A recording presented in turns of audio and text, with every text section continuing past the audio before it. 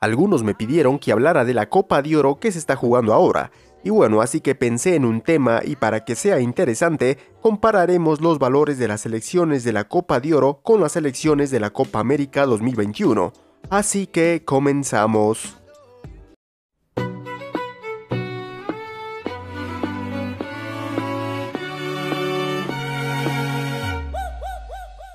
Hay varias selecciones de la CONCACAF que no tienen un valor muy alto. Si nos ponemos a comparar con las selecciones de la CONMEBOL, el que tiene el valor más bajo que es Bolivia, vemos que cuesta 12.45 millones de euros y fácil supera a varias selecciones participantes de la Copa de Oro 2021. Como Granada, que es la selección más barata, solo cuesta 1.060 millones de euros. Le sigue la selección de Guadalupe con un valor de 3.6 millones de euros. Algo similar se ubica El Salvador con un valor de 3.63 millones de euros.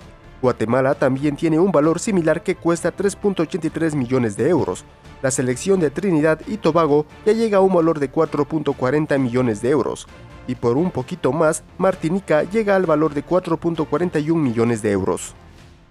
Hasta ahora, todas esas cinco selecciones no le alcanzan el valor de Bolivia, ni siquiera le llegan a la mitad aunque las selecciones de CONCACAF ya van subiendo. Haití ya tiene un valor de 7.23 millones de euros. Panamá tiene una plantilla con un valor de 9.5 millones de euros. Acercándose al valor de Bolivia, nos encontramos con Honduras que cuesta 11.5 millones de euros.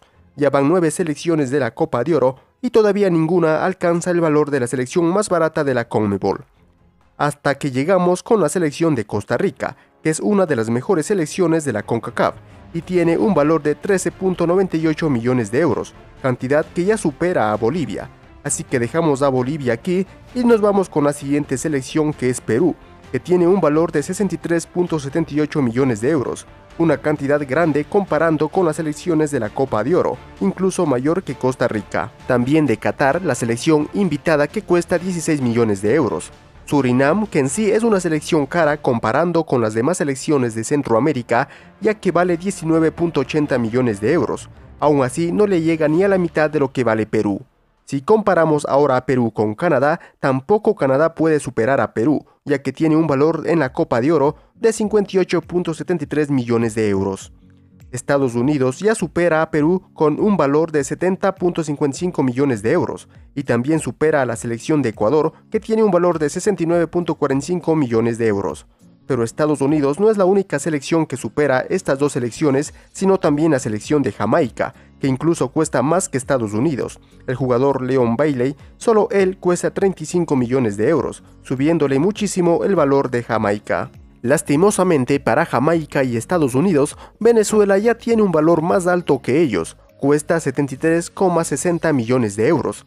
Ahora, en la Copa de Oro solo nos queda una selección, México, la más valiosa, tiene un costo de 168,60 millones de euros, superando no solo a Venezuela, sino también a Chile que cuesta 89 millones y a Paraguay que vale 108 millones de euros.